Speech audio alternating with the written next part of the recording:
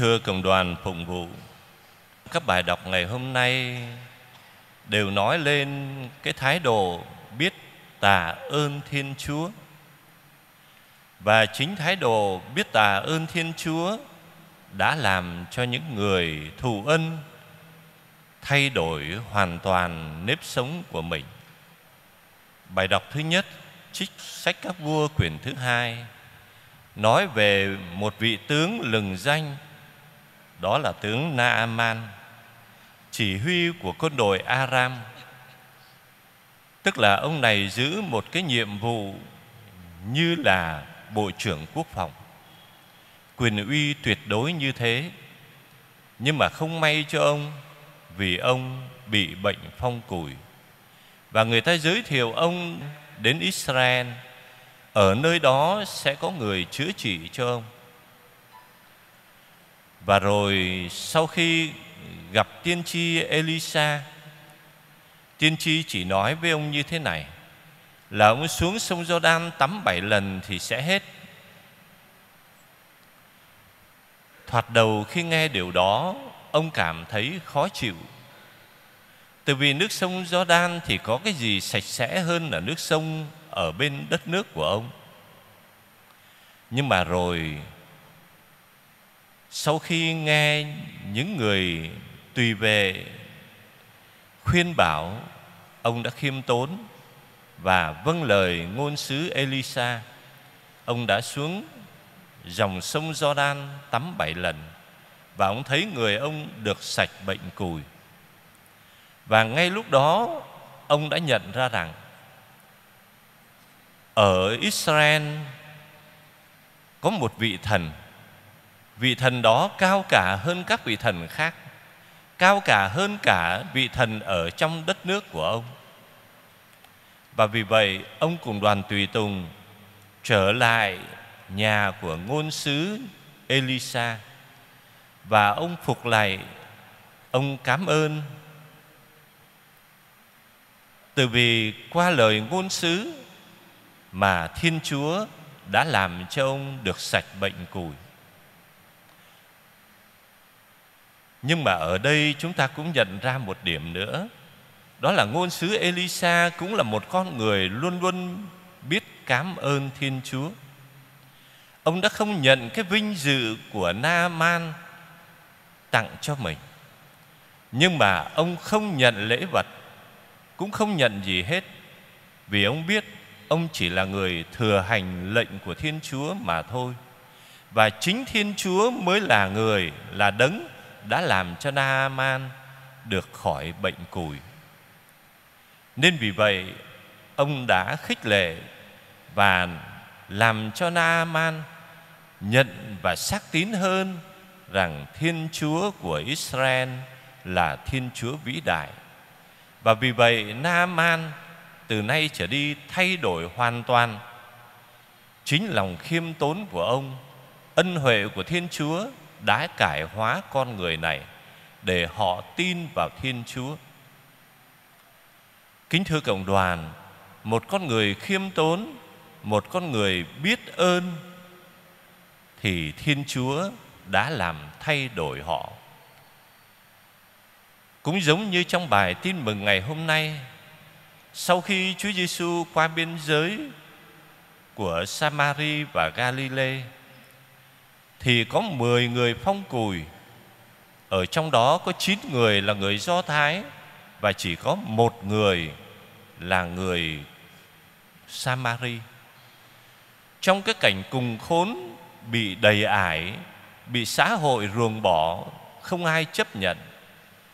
Trong cái sự đau khổ đó họ đã liên đới với nhau và nghe tin Chúa Giêsu đi ngang qua thôi họ đã chạy đến với Chúa Giêsu và từ đằng xa họ đã thưa với Chúa Giêsu rằng, lạy thầy Giêsu xin cứu chúng tôi khi mà họ nói cái câu lạy thầy Giêsu đó là điều họ đã nói và xác tín rằng Thầy Giêsu chính là đấng cứu họ. từ vì Giêsu cũng có nghĩa là Chúa cứu. Và họ nhận ra rằng Đức Giêsu là hiện thân của Thiên Chúa, nên vì vậy họ đặt hết lòng tin tưởng vào Thiên Chúa. Và thay vì Chúa Giêsu cầm tay họ hoặc là chữa lành họ ngay lúc đó, thì Chúa Giêsu lại truyền cho họ là hãy đi trình diện các tư tế và đang khi đi thì tất cả họ đều khỏi bệnh nhưng mà một người Samari là người ngoại đạo, nhận thấy rằng mình là người khỏi bệnh ông thấy rằng và ông tin rằng Đức Giêsu là hiện thân của Thiên Chúa. Nên vì vậy ông đã đến và cảm ơn Thiên Chúa. Ông phục lạy Đức Giêsu. Tất cả những cử chỉ phục lạy đó, con người chỉ có thể dành riêng cho Thiên Chúa. Nhưng ở nơi đây, người cùi Samari đã nhận ra Đức Giêsu thật sự là Thiên Chúa và Đức Giêsu là con người gần gũi, là con người thương và chữa bệnh cho ông. Đức Giêsu không xa lạ với ông. Đức Giêsu là Thiên Chúa gần gũi với mọi người. Và Chúa Giêsu cũng mặc khải cho ông và qua đó cho tất cả những người đang đi theo Chúa Giêsu. Chúa Giêsu đặt câu hỏi: chẳng lẽ chín người kia không khỏi hay sao? Mà chỉ có một người này đến đây để tạ ơn Thiên Chúa. Và kính thưa cộng đoàn, đây là lời mặc khải của Thiên Chúa cho mỗi người chúng ta. Đức Giêsu chính là Thiên Chúa và là đền thờ của Thiên Chúa. Nên vì vậy mà qua sự kiện này Đức Giêsu dạy bảo cho tất cả những người đang nghe Ngài, và nhất là những môn đệ của Ngài, là từ nay trở đi, người ta sẽ tôn thờ Thiên Chúa trong sự thật và đền thờ của Thiên Chúa là chính Đức Giêsu. Nên vì vậy, người ta không cần phải đến Jerusalem hay Garizim nữa. Nhưng mà lúc nào người ta cũng có thể thờ phượng Thiên Chúa được. Nên vì vậy mà Đức Giêsu đã khen cái anh người cùi Samari này. Và Chúa Giêsu nói, anh về đi, lòng tin của anh đã cứu chữa anh. Thật vậy, lòng tin không những chữa cho anh về thể xác cùng với chín người cùi kia khi van nài Đức Giêsu, nhưng chính lòng tin, lòng biết ơn đã làm cho anh trở nên một con người mới. Một con người gắn bó với Đức Giêsu, một con người gắn bó với Thiên Chúa, một con người suy phục Thiên Chúa. Kính thưa cộng đoàn, chính lòng biết ơn và lòng tin đã làm cho những con người nhìn ra những ân huệ quý giá của Thiên Chúa ban cho họ có thể làm cho họ thay đổi hoàn toàn. Lời của Thánh Phaolô khuyên bảo ông Timôthê là môn đệ của Thánh Phaolô. Những lời này Thánh Phaolô viết ra khi ngài đang bị cầm tù. Ngài bị nhiều cái khốn khó với tất cả những tâm tình, ngài đã khuyên bảo ông Timôthê là hãy nhớ đến Đức Giêsu đấng đã sống lại từ cõi chết. Đấng xuất thân từ dòng dõi David. Thánh Phaolô là một người biệt phái nhiệt tình. Ông đã bắt bớ những môn đệ của Đức Giêsu. Nhưng rồi trên con đường đi Damas để khủng bố và bắt bớ những người Kitô hữu, ông đã được Thiên Chúa đoái thương đánh quật ông ra khỏi cái lưng ngựa. Ông bị mù mắt. Nhưng mà đó là một điểm làm cho ông có thể nhận ra là quyền năng của Thiên Chúa lớn hơn là những dự định của ông. Và chính Chúa Giêsu đã hiện ra với ông. Và từ đó dạy dỗ ông, làm cho ông xác tín rằng Đức Giêsu là cứu Chúa. Nên vì vậy, chỉ những lời vắn tắt mà Thánh Phaolô gửi cho ông Timôthê, Ngài đã nhắn nhủ người người môn đệ lại hãy tin vững vàng vào Đức Giêsu đấng đã được Thiên Chúa phái đến và chính Đức Giêsu đã nhập thể trong lòng Đức Trinh Nữ Maria.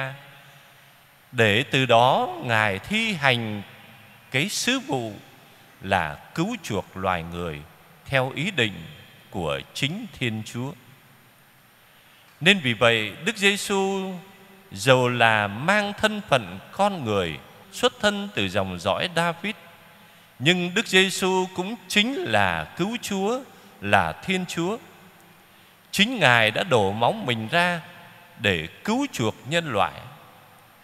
Nên Thánh Phaolô đã luôn luôn xác tín rằng Đức Giêsu là cứu Chúa của mình.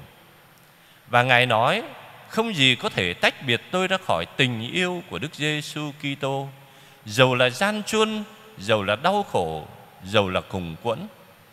Nên vì vậy, đang ở trong tù, Đức Giêsu khuyên bảo và an ủi ông Timôthê. Từ vì ông Timôthê đang là giám mục và cũng gặp nhiều những chống đối, những đau khổ. Nên vì vậy mà Thánh Phaolô khuyên ông Timôthê là hãy nhìn vào Đức Giêsu, ân huệ của Thiên Chúa ban cho chúng ta, và nhìn vào cuộc sống đau khổ của Đức Giêsu để từ đó chúng ta có thể chiến thắng được những đau khổ và tội lỗi khác. Và nếu chỉ có những con người nào gắn bó với Đức Giêsu như vậy thì sẽ được phần thưởng lớn lao Đức Giêsu hứa ban cho những người tin cậy và thực thi những điều Đức Giêsu nói. Kính thưa cộng đoàn phụng vụ, biết ơn đó là một cử chỉ cao đẹp. Đó là một cái nghĩa cử nói lên một cái tương quan mật thiết giữa một con người lãnh nhận ơn đối với vị ban ơn cho mình. Ơn càng lớn lao bao nhiêu mà con người nhận ra được cái ơn đó, thì con người càng gắn bó hơn và thay đổi cuộc đời của mình nhờ ơn của Thiên Chúa. Những gương ở trong Kinh Thánh ngày hôm nay cũng giúp chúng ta nhận ra được là mỗi người chúng ta từ khi sinh ra mang cái thân thể này với tất cả đời sống với tất cả những tài năng mà Thiên Chúa ban. Đó là ân huệ của Thiên Chúa. Nhưng người Kitô hữu chúng ta lại còn phải mang ơn Thiên Chúa nhiều hơn nữa vì Thiên Chúa đã cứu chúng ta khỏi tội lỗi và mang chúng ta đem cho chúng ta một cái ân huệ, một thế lực trần thế nào có thể mang được. Đó là cho chúng ta trở nên con của Thiên Chúa nhờ Đức Giêsu Kitô. Nên trong cuộc đời của người Kitô hữu, nếu trong trường hợp chúng ta luôn luôn biết ơn Thiên Chúa thì khi đó tình thân của chúng ta với Thiên Chúa càng ngày càng bền chặt hơn. Và chính cái tình thân đó làm cho chúng ta càng ngày càng được thay đổi hơn vì chúng ta càng lãnh nhiều thêm nhiều ân huệ của Thiên Chúa để chúng ta trở nên những con người trung tín với Thiên Chúa. Kính thưa cộng đoàn, lòng biết ơn làm cho con người thay đổi. Lòng biết ơn nhất là biết ơn về những ân huệ thiêng liêng Thiên Chúa ban cho chúng ta thì chúng ta lại càng cảm nhận hơn là chính Thiên Chúa đã cứu chúng ta và Thiên Chúa yêu thương chúng ta quá sức. Xin Chúa ban cho mỗi người chúng ta trong cuộc sống này được luôn luôn biết cảm ơn Thiên Chúa, cảm ơn mọi người. Tại vì nhờ mọi người từ cha mẹ, ông bà cho đến những người thân, những người mà chúng ta gặp gỡ, những người cùng đồng đạo với chúng ta và biết bao những người khác đã gia ân cho chúng ta để cho chúng ta có một cuộc sống tốt đẹp. Và tất cả những điều đó đều là hồng ân của Thiên Chúa. Và như Thánh Phaolô, chúng ta luôn luôn nhìn ra rằng hồng ân của Thiên Chúa có ngay từ khi mà chúng ta đang chịu đau khổ nữa. Vì qua những đau khổ đó, Thiên Chúa uốn nắn con người để con người có thể được trở nên tinh tuyền hơn. Nên vì vậy mà như lời Thánh Phaolô khuyên bảo, chúng ta đừng nản lòng. Nhưng mà trong mọi hoàn cảnh, chúng ta đều biết cảm ơn Thiên Chúa. Xin cho mỗi người Kitô hữu chúng ta được thấm nhuần lời Chúa để cuộc đời của mình trở thành một lời tạ ơn. Như thế thì lời tạ ơn của chúng ta hợp với thánh lễ chính là lời tạ ơn mà giáo hội dâng lên Thiên Chúa qua chính cuộc hy tế của Chúa Giêsu lên Thiên Chúa Cha.